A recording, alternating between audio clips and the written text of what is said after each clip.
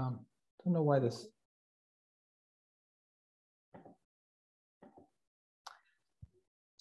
Hi, everyone. Um, thank you all for being here today.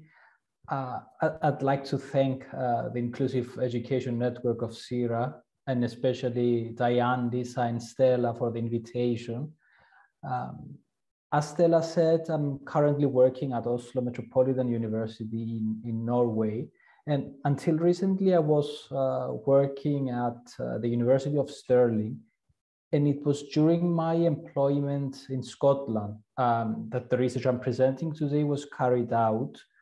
Uh, the project for which I was the principal investigator was titled Promoting Equity, Inclusion and Social Justice in Scottish Mathematics Classrooms early years primary and secondary teachers' perspectives.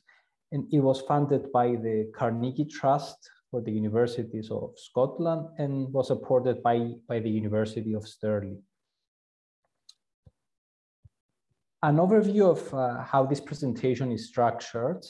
Um, first, we shall have a brief look at the international literature in order to clarify some important issues and see where this project stands in relation to, to research trends uh, and concerns beyond its specific cultural context. Uh, secondly, we're going to zoom into Scotland and discuss a little bit how the particular Scottish context informs this project. Subsequently, I'm going to say a few things about the project itself, participants and data collection. And finally, I'm presenting some of the findings that emerged from our analysis with discussion of some key ideas. Soon after, we will have uh, time for discussion, comments, and questions. And I promise I would do my best to keep this presentation within uh, 25 minutes. To, to start, I'm, I'm turning our attention to the international uh, literature on who appears to be uh, doing well and who appears to be underperforming or being marginalized, if you prefer, in school mathematics. Several studies, especially from Europe and North America, inform us that there are large discrepancies between the academic performances of uh, groups of children with different demographic characteristics. Uh, these discrepancies are often called the achievement or the attainment gap. Uh, one specific group, the so-called dominant group, seems to outperform the others uh, systematically. And the demographic characteristics of this group are the white, middle-class, heterosexual boys.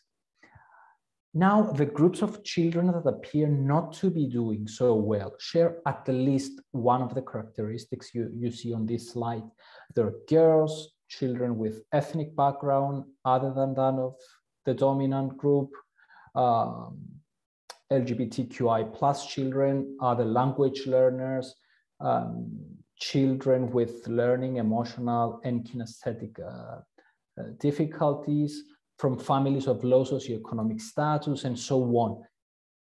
Simply put, mathematics classrooms around the world um, appear to be operating as spaces in favor of the white, middle class, heteronormative male learner, while at the same time, other groups of learners are to varying degrees sent to the margins.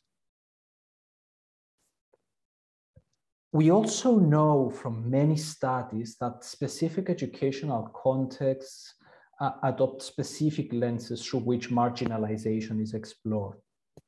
For example, in the USA, the discussion is focused on race uh, and particularly the Black and Latinx communities. In the UK, the focus is almost exclusively on social class. Uh, in several European countries, emphasis is placed on immigrants and other language learners.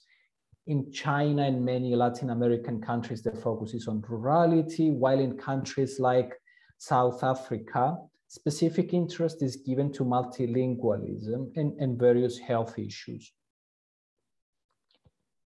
Now the concept of equity um, emerges as, as a response uh, to these observed discrepancies.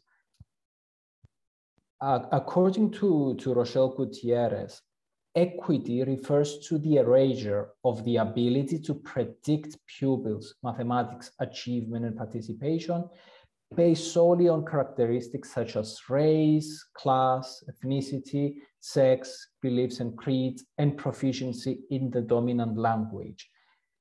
In, in my working uh, definition, the concept of equity um, entails five characteristics or dimensions.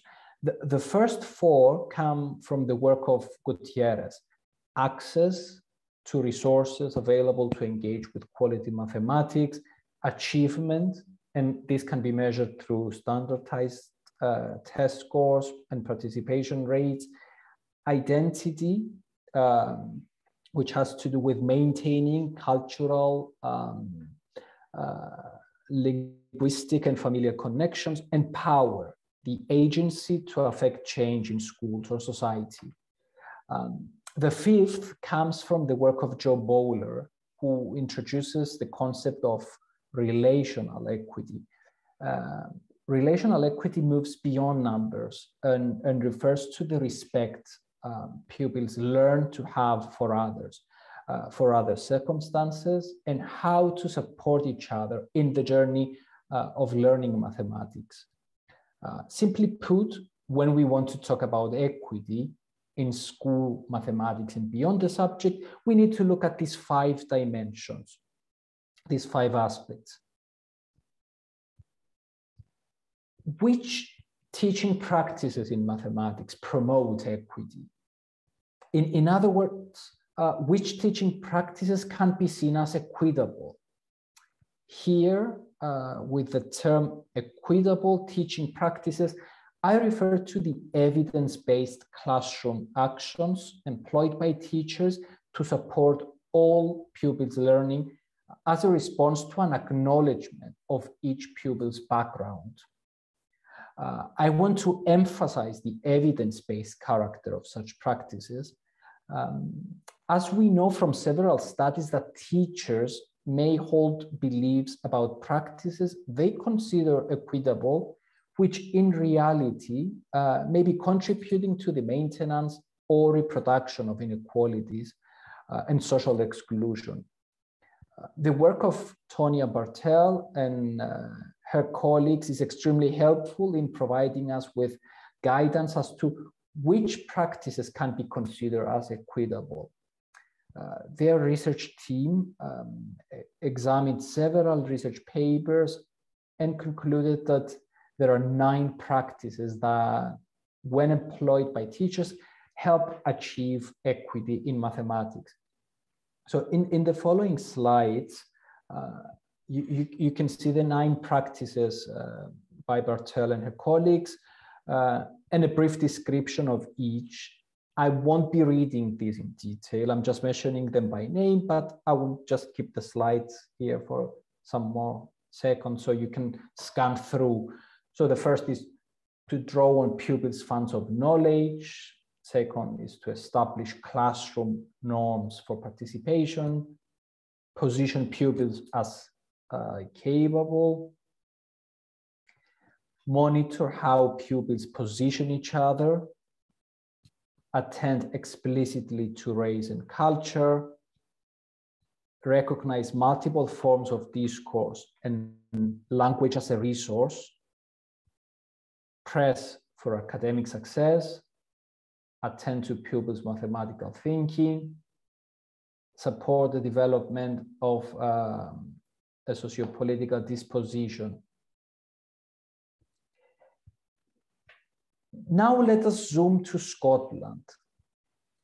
As with the rest of the UK, uh, when examining attainment gaps and marginalization, or when the term equity appears in, in policy discourse, Scottish policies place explicit emphasis on social class and socioeconomic status.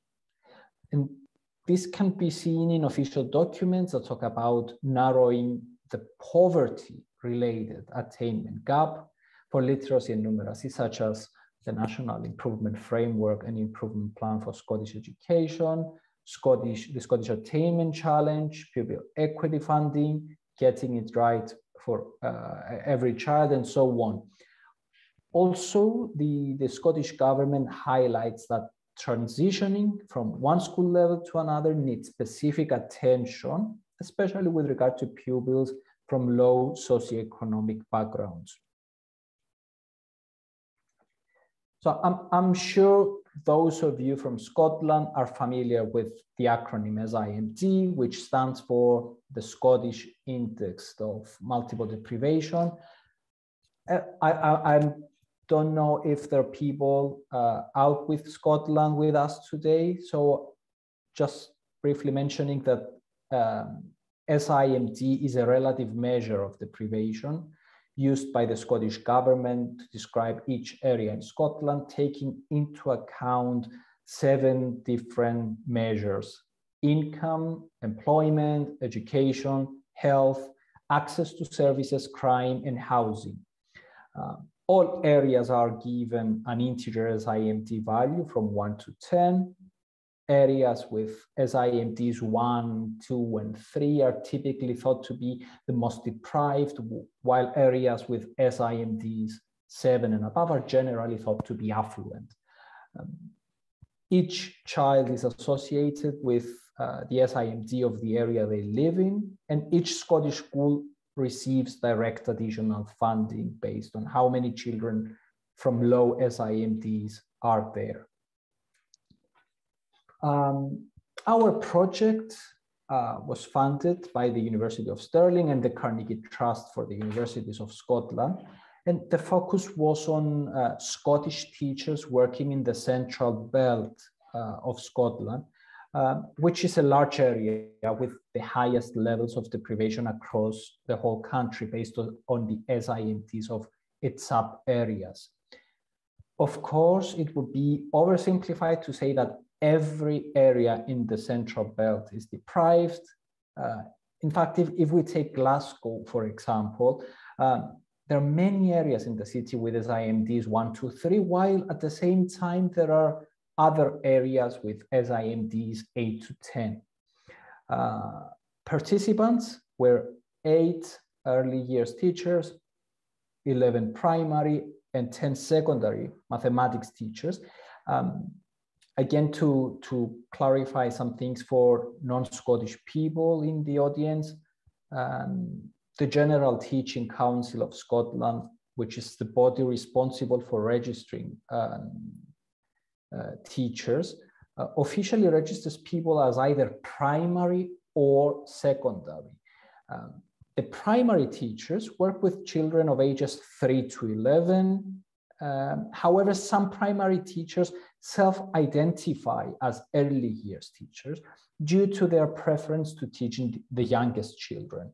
Um, in, in this study, we asked um, the primary participants to tell us how they identify as early years or, or primary. And the secondary teachers are mathematics specialists for ages 12 to 18, and all teachers participated here in, in an individual semi-structured interview based on, on the experiences of teaching numeracy and mathematics. So specifically, um, our work was based on the following three uh, research questions. What are the similarities and differences in the perceptions of teachers uh, at these three school levels regarding the causes of marginalization in school mathematics? What are the similarities and differences um, of teaching practices that at these three school levels perceived as equitable by the teachers themselves and how do teachers understand concepts like equity, inclusion, diversity, and social justice in relation to school mathematics? So today I'm presenting findings related to, to the first um, two questions. So in, in regard to our first research question, uh, perceptions of uh, marginalization, a great homogeneity was observed among the 29 participants across the three school levels. all teachers talked about social class um, as the main reason why some children don't perform as well as some of their peers. So on this slide, we see some actual quotes from the interviews. Um, uh, the one you see, uh, the, the orange box is from, is a quote from a, a secondary mathematics teacher who said, I suppose the attainment gap reflects the, I don't know, uh, what, what, what would you call it? The affluence gap. I don't know, monetary gap, economic gap. Uh, in my experience, they have reflected each other almost identically. And in, in the blue box, we see a quote from a primary teacher uh, saying that the school that I teach in uh, has a lot of pupils from low SIMDs. Uh, most of the children are level three in the indication markup. Uh, there's a high there's a high level of students who get free school meals, and as a result, our school gets quite a lot of funding from the National Improvement Framework. And a lot of parents are proud. Uh, they don't want to tell you that they're struggling or whatever, but you are aware that these children are not getting proper meals. So teachers' responses are, in a sense, here unsurprising. In, in fact, they reflect the broader discussions on uh, achievement gap and equity uh, within the Scottish educational system. And keep, this, keep these thoughts in mind as we will be revisiting them towards the end of the presentation. Very few teachers made some scattered references to other marginalizing variables such as gender, English language competence, and family dynamics beyond socioeconomic status. However, we could not observe any specific pattern um, in, in these responses. As teachers, either uh, referred exclusively to social class or in few cases, social class plus something else. Um, so on, on this slide, uh, we see three examples from such responses, one from each school level. Uh, a secondary uh, mathematics teacher um, talked about gender.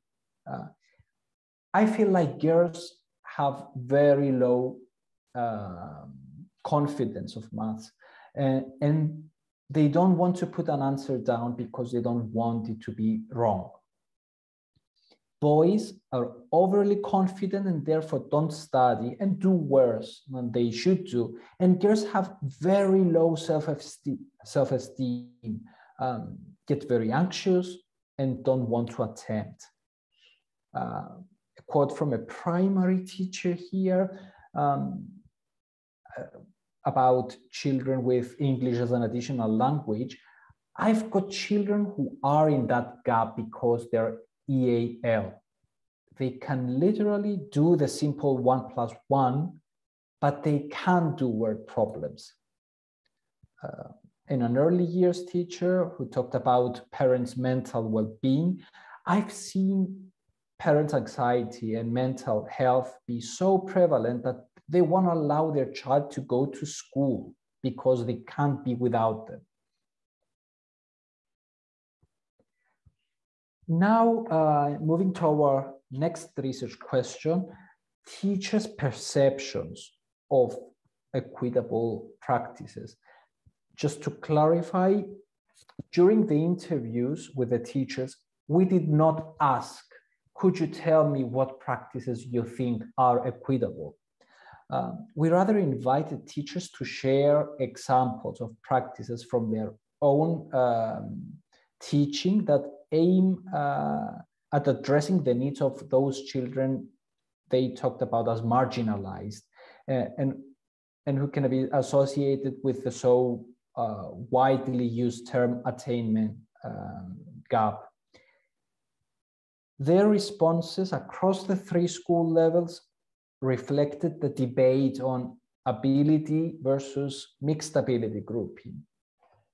Um, several academics around the world talk about ability grouping as a form of discrimination. Uh, and a classroom practice that perpetuates social injustices. Yet, a number of studies in the context of Scotland um, indicate that many school teachers still believe that such a practice has its place in schools. And our findings do confirm this, uh, as teachers either talked in favor of ability grouping for pragmatic reasons, or in favor of mixed ability groupings for scaffolding purposes. Uh, as I said earlier, this polarization was observed uh, across uh, early years primary and secondary uh, participants. So apart from uh, teachers' uh, responses concerning the two types of grouping, which appear to be common across school levels, um, their, their uh, responses were more ho uh, homogeneous within their school level than across. Um, for example, most, uh, almost every teacher who identified as early years teacher talked about the, the practices you see on this slide play, scaffolding, hands-on activities, and the use of concrete uh, and, and visual materials, whole class sharing and talk, and provision of outdoor learning experiences. For those participants identifying as primary teachers, the following teaching practices or strategies were discussed. Um, direct questioning, differentiation by task, uh, that is providing tasks of different degree of challenge. And, and those of you from Scotland might be familiar with terms like mild, medium, hot, or other similar labels used by, by, by teachers. Um, opportunities for children to share their um, different strategies with the whole class. In some cases, the introduction of uh, standardized testing, encouraging the encouraging the use of uh, concrete materials and visuals and technology aided practices.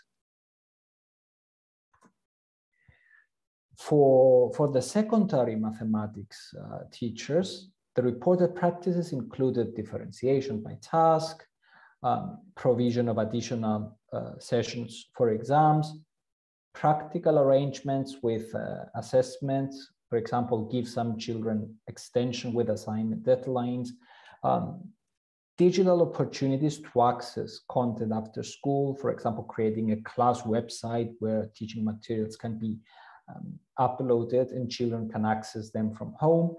Um, once again, I'd like to remind you that all these practices are what teachers mentioned um, in, in our questions about how all children, especially those on the low side of the attainment gap, can be supported. So these findings point towards three key ideas. The first has to do with the importance of intersectionality. What do I mean by this? I'd like to remind you that uh, at the beginning of um, this presentation, several marginalizing factors were mentioned, like gender identity, sexual orientation, race and ethnicity, competence in language of instruction, disability, social class, and so on. Things become even more complicated um, when we start considering um, marginalization in intersectional manners. For example, Black girls or Black girls of low socioeconomic status, immigrant queer children, immigrant queer children with disabilities, um, and other possible combinations you can think of. Teachers in our study focused almost exclusively on social class probably as a result of, of the wider uh, discussions at policy level in Scotland, even those few who mentioned um, other marginalizing um, factors did not make explicit links between those additional factors and social class. Um, it is very important to understand that almost never these factors play out in isolation. On the contrary, things can be extremely challenging, especially for those children who can be found at the intersections. Uh, and as teachers, we definitely need to develop an awareness of, of these. The second key point is concerned with the extent to which teachers' uh, reported practices are indeed equitable. I'd like to remind you that uh, in our working definition, uh, practices need to be evidence-based and they need to explicitly take pupils' backgrounds into consideration. Yes, encouraging children to share ideas, teachers' direct questioning, the use of concrete materials, the use of technology, and so on, are practices that can be backed up with research evidence about their positive impacts on learning. The big question is, however, do these practices take um, pupils' background explicitly into consideration? Here, teachers reported practices, even when they have the best of intentions, they're not linked to, to teachers' main perception about the causes, the causes of marginalization, that is social class. For example, as some secondary teachers uh, reported, um, all teaching materials are uploaded on classroom websites so that children can access them at home. But what about those children who cannot afford devices or having internet at home? Also, the, there, there are so many colleagues in academia arguing that ability grouping is a form of discrimination and, and a practice that reproduces social exclusion and injustices.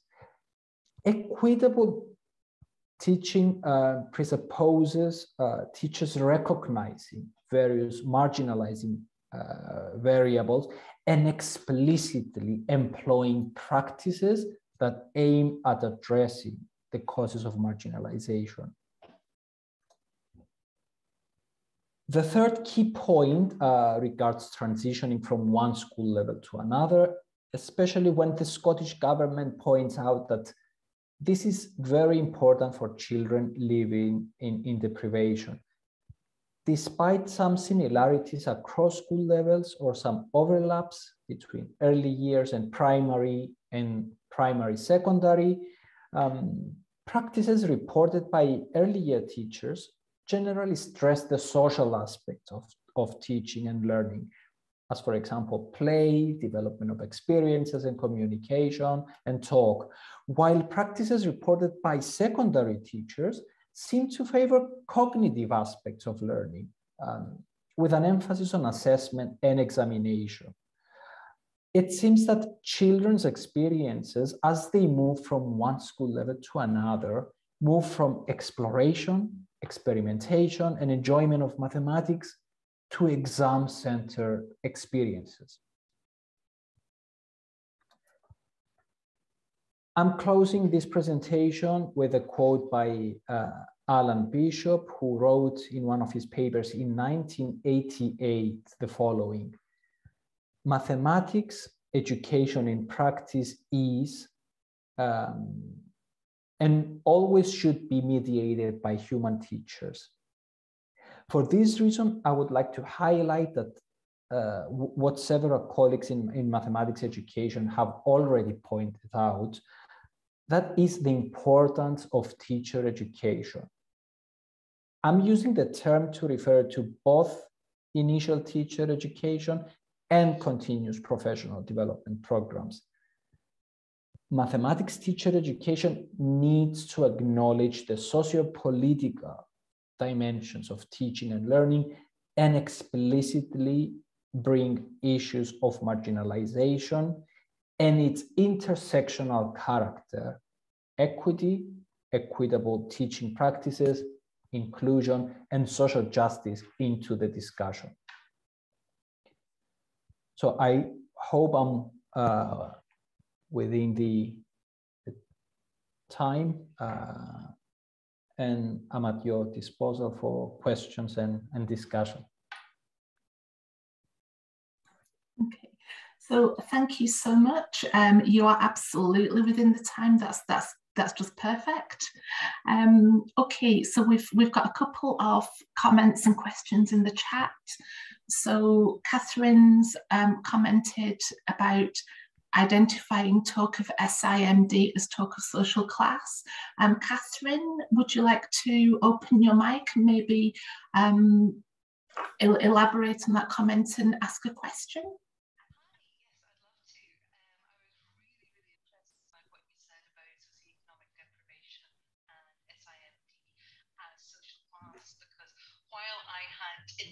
Understood it that way. When I talked to Scottish teachers, I found that they pushed back quite sharply against that language. I was told on by a number of teachers on a number of occasions, social class is out of date, it's no longer relevant um, concept. This isn't to do with membership of a group with society, it's to do with an individual child's individual deprivation. So I wondered, did you see anything similar? And how would you understand that sort of gap between what might the way to understand SIMD and how teachers are actually understanding it? No, actually, in in, uh, in in this study, we we uh, we noticed that all participants referred to social class. So it was uh, in a way that they were uh, reflecting the the the discourse of of uh, of national uh, of Scottish policies. Um, so they were referring to to SIMDs and and social class and poverty as the main reasons. Um, while, as I said, some of them could sense that there was something else going there uh, other than social class, but they th those few who were rec recognized or talked about other marginalizing variables did not link them to social class. So it was social class and some few references to other variables. Okay, that's that's super. Thank you. And there's a question from David um, about instances of teachers of maths promoting equitable practice. Um, David, would you like to open your microphone and come on? Yeah. Thank you. Um, just um, mention about equitable practices. Uh, you could go back to 2007, and the OECD commented that comprehensive schools in Scotland um, promoted equity but didn't guarantee it due to practices within schools. And they were talking about uh, setting and just uh, you know, teachers of mathematics, uh, as you as you've highlighted, uh, would regard ability setting and uh, grouping as a practice that uh, enables them to uh, deliver their curriculum. Were there instances of teachers who engaged with equitable practices that takes account of the wide range of intersectionality and organize their classes uh, in order to mix kids to enable them to relate to each other and make progress with their maths in that way. Um, thank you, David, for, for this. I, I believe it's important for everyone to ask themselves uh, what we mean by equity because it does not seem to be a standard uh, definition out there. Not everyone seems to understand the concept the same way, uh, even um, uh, in academia, in, in, practicing teachers in schools, policymakers, and so on. Um, and, and this was not part of um, the findings that I presented today, but uh, as I said, one third research question that we had was um, teachers' understandings and perceptions of concepts like equity, inclusion, social justice, and diversity. And to be honest, what I I had in mind or what I uh, I, I, expected to to see uh, before uh, collecting and analyzing uh, data was that because the term equity is so prevalent in the Scottish, um, the, the discourse of, of Scottish policies, I somehow expected that teachers would feel very comfortable talking about equity. Um, However, what I noticed, uh, and as I said, it's not presented here, um, is that teachers were, or better say, not all teachers were comfortable talking about equity. They could not easily articulate their thoughts about what equity is, what it should look like, what kind of practices uh, re, uh, relate to equity. So uh, when uh, during the interviews we ask teachers, so what, what, do you think about equity? Is is this a term uh, you often uh, discuss or um, experience as a teacher in relation to school mathematics and numeracy? Um, not many of them could easily um, talk about it.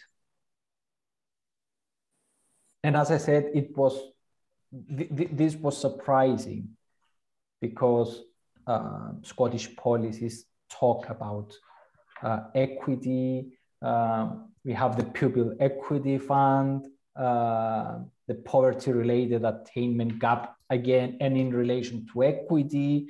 Um, so uh, even though these discussions are out there for many years now, I'm not quite convinced that teachers and policymakers share a common language. Okay, thank, thank, thank you. Um, so there's a comment in the chat just um, from Paul saying, thank you very much for your, for your presentation. Um, Jen's asking where we can access your paper, so maybe we can get a link and pop it into the chat. Um, Jackie, um, would you like to open your microphone and um, you've got a question to ask? Yeah, thank you. Um, thanks very much, first of all, for sharing that work. It's really interesting. I've been doing a bit of thinking well, a lot of thinking about inclusion, differentiation in numeracy and maths with beginner teachers. Um, and I think that second last concluding point, you know, it made me think what a question that's been rambling around in my head for a long time. Like, how do teachers put their own values into their practices when they see particular practices or even their school's local authorities tell them they have to teach in a certain way? For example, differentiating by ability groupings, yet that may not align with their own educational values there. So it's really difficult, I think, at times to break that mold when they have these conflicting messages all the time. And I think through my own sort of work, a key thing that's came through is the idea of the two dominant um, what to say, opposing perspectives of inclusion, rights respecting and needs based. And when you were saying sometimes it's it's when you had the slide with the comments of the teachers sharing different ways they try to provide equity through their teaching through mixed ability versus versus fixed ability groupings, it made me think of those two dominating opposing perspectives of inclusion and each of those teachers with the best intention in their heart and their minds is to try and provide that equity so mm-hmm. it's it's Yet one perspective may see one practice in a class as in inclusive, and the other perspective may see the same teaching learning task as exclusive. So, how do we help beginner and in service teachers, I suppose, to put their own values into practice? Yeah, yeah, yeah. Very good question. And um, I'm, I'm, I'm afraid there is no straightforward answer to this. But what is really, really, really important, I believe, is that everyone needs to understand that um, our own ideologies, our own beliefs and values and socio-political dispositions are there when we teach. So it's it's uh, it's a very important starting point. So yes, it, I, I I would perhaps rephrase your question and say, how can we help teachers um, develop an awareness of these socio-political um, dimensions of, uh, of mathematics teaching and learning.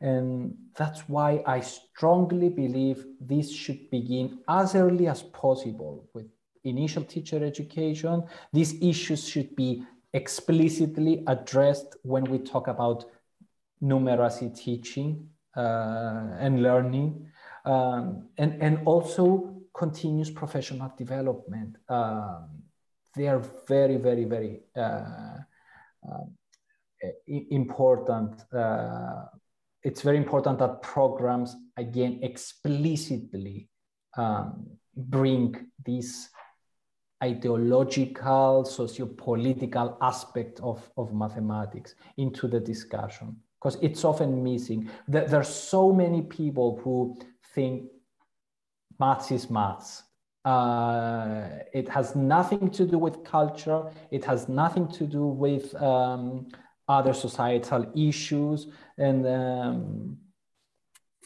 yeah, and we need to make that explicit. Th- that, that's probably uh, a, a good starting point, I believe. Thank you. Okay, so I'm aware we've probably got about three minutes left for questions. Mm-hmm. Um, so I, I, don't think we'll get everybody's questions asked. Um, we've we've got a couple a couple of comments. Um, I'm I'm going to come to Jen. Um, Jen, you're asking a question on teachers' own intersectional characteristics. Um, would you like to open your microphone and maybe elaborate a wee bit on, on the question? Yeah, I suppose I'm just thinking about in terms of how to support teachers in terms of looking at promoting equitable approaches and um, whether you found that, you know, if there was, when you're talking about um, in pupils, we're seeing that maybe white males, straight males um, do better or have, you know, the environment for them in the mass classroom that they're doing better, whether white male teachers are having a better experience, like I, I, don't, I don't know. I'm just wondering if you think that a teacher's own characteristics and the way they intersect is impacting, or if when we're delivering professional learning for early year staff, primary staff, and secondary staff, yep. whether that is about a building a teacher self-efficacy as well mm-hmm. before we start to look at how we support the young people. It's about supporting the teachers as well. Yep. i don't know if that makes sense. Yep yep yep. Um, really really important question. And um, it's it's something that many teachers around the world as international uh, literature indicates when they start developing this uh, a, a socio-political awareness of uh, how education and how mathematics education, um, more specifically, um, is uh, framed, let's say, um, they have questions like this. How do I talk about these socio-political issues when I am, uh, let's say, I'm, I'm representing this dominant culture, this dominant group um, yep, I, again, um, I, I, I don't have um, answers in the form of A, B, C, um, but at least being aware of our own positionality, who we are, uh, and how these might have uh, put us in a privileged position as we were learning, or in, in, in if we have experienced marginalization, uh, then uh, th these uh, will more easily be reflected in our teaching. I'm afraid I don't have the answers. Uh, and, and perhaps my presentation is, is raising more questions than providing answers. And uh, yeah. No, that's great. Great provocations. great, lots, lots to think about. Okay. So thank you so much. Um, we are almost out of time, so mm. I'm afraid we don't have time for any other questions, but perhaps people that have put questions in the chat, you might want to follow them up via mm-hmm. email. Yeah, um, absolutely. Um, and maybe continue those conversations via Twitter and, and so on. So I will hand over to Lisa, who I think is going to wrap things up for us. Yeah, um, just uh, to say, Diane, before mm -hmm. we go, maybe my email is on this slide. So if anyone has any questions or would like to discuss these uh, more, I'm really happy to. Uh, Brilliant. Thank, thank, yeah. thank, thank, thank you. And and just before I hand on to Lisa, um, We've already had some emails come into our inclusive practice Gmail account asking to join our mailing list. So if you're not on our mailing list or if you're not a member of the network and you'd like to be, this is the plug to send us an email and we can add you we can add you and you can um, we'll be more than happy to welcome you to the inclusive practice community um, so lisa over to you Thank you very much, Diane. You did a great job trying to, to get as many questions in. Thank you. And thank you, Sadine, very much for indeed, as Jen said, provocations, loads of questions you, you raised here, loads of important questions. And I think what you have done is you've given us a lot to think about and to see how we can um, continue these conversations that we started here in, uh, in our work, workplace uh, uh, where we are, it's working teacher education, other types of, of institutions, schools. I was very interested to start with um, when you talked about the, um, uh, the, the about mathematics education and who, who are the winners, so to speak, who are the ones who, who achieve. And you talked about the white middle class boys. And I, I found that very interesting. Um, and especially because as you moved on to talk about the um, deprivation here in Scotland and, and how, how social class comes into it, I suppose as um, some of our um, participants asked, um, if class is, is part of the issue, then where are the girls? So that's, uh, you know, when, if, if we say, okay, it's a class issue and middle class kids are doing better, but but we see here it's middle class boys. So where are the girls? So that's that's an important question. I think that we need to to take away and, and think about. Um, the other point that I found particularly interesting and something for me to follow up is um, you looked at the international literature and you you found that um, the context plays an important role in, in where research focuses. So, so and um, the U.S. Uh, race is is uh, perhaps the the, the um, influencing factor in in where researchers are putting their their efforts and where perhaps they have identified the, the biggest issues while yes, in the United Kingdom, we talked about um, social class. Uh, in in Europe, it's it's immigration. It's it's children who have the the dominant language as a second language or a a new language to them. So that's again a very important point. So the context uh, plays plays a role there, and um, something that we need to to take a, to take into consideration.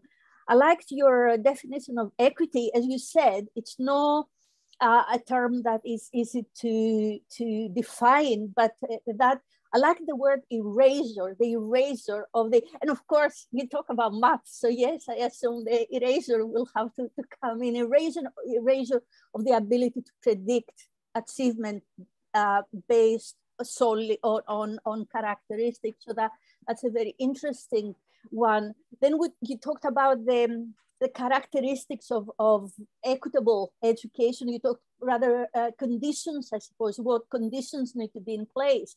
You talked about access, achievement.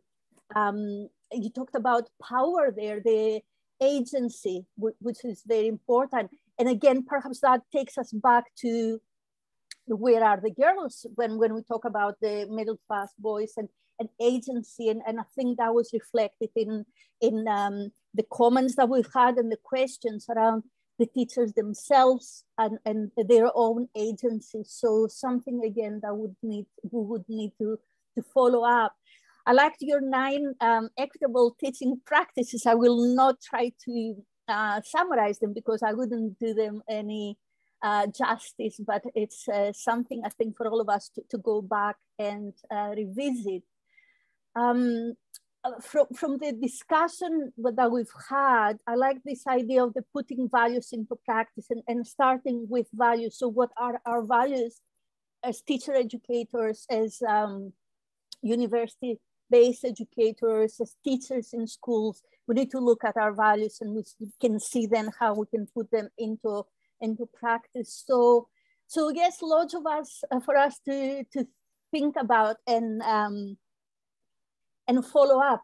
I, because we we do not have the time, I had a question that uh, I wanted to ask, and, and I won't ask it now, but I, I just wanted to perhaps put it in the list of things that we need to follow up. This idea of the um, mixed ability classes and the this um, I suppose practice that we see often the uh, ability ability the streaming, the, the uh, um, arranging classes in mass and perhaps other subjects based on, on ability. I know that the debate over this is still um, very lively. So, so again, a note for myself. I need to, I need to go and, and see what's the latest on that debate because it, is ongoing. So Yes, you gave us lots to think about, uh, and you raised many important questions. I think the final one, for those of us who might not um, have maths as our specific um, subject or area of expertise, an important question that your presentation uh, raised is, how do these points that you made, how do your findings apply in other subjects and in education more, um, more broadly? So thank you very much. It was um, it was very very um, thought provoking and, and very interesting to to hear about your study and your findings. We hope that you have a great time in the University of Oslo. We look forward to hearing about perhaps a follow up from your research. Thank you very much. Thank you, thank you. Lisa, just to clarify before we go that it's uh, Oslo Metropolitan University um, okay, yep, yep. no, no, no worries. And um, I'm, I'm, I'm not um, about the. You, you, mentioned the the idea of erasure. I'm not claiming the. Th these terms, the, the, this, this idea belong to Rochelle Gutierrez, who first talked about. Uh, yeah, yeah. It's in your just slides, to, yes. Yeah, yeah, I saw it, but yeah, I, I thought it was a, it's a very interesting one because I hadn't come across this idea before, but I liked erasure and I thought erasure and mm-hmm. maths and how we erase, uh, you know, what we we think is not um is not appropriate. I really like mm -hmm. that. So it's something that I will I will take away and think about. Great. So thank you, so thank you very much. Uh, I'll pass it over to, to Stella for the conclusion. Yes, thanks a lot. Thanks, Constantinos, uh, for this thought-provoking presentation and everyone for attending this session. I have copied and pasted all the comments so that I can share them with Constantinos at the end. And uh, Constantinos will also perhaps uh, share with us, uh, you know, your work, your papers, and we can uh, add them to our newsletter so that um, our members can access them. Um, again, you can find uh, all the information about our network on the SERA's uh, website, and you can also um, check the Twitter account as well. Let us know if you want to be added in our members list, and we hope to uh, see you again at our next event. Thanks everyone, and thanks Diane and Lisa for uh, working with me on this and for monitoring the chat and uh, for the conclusions and discussion. Thank you.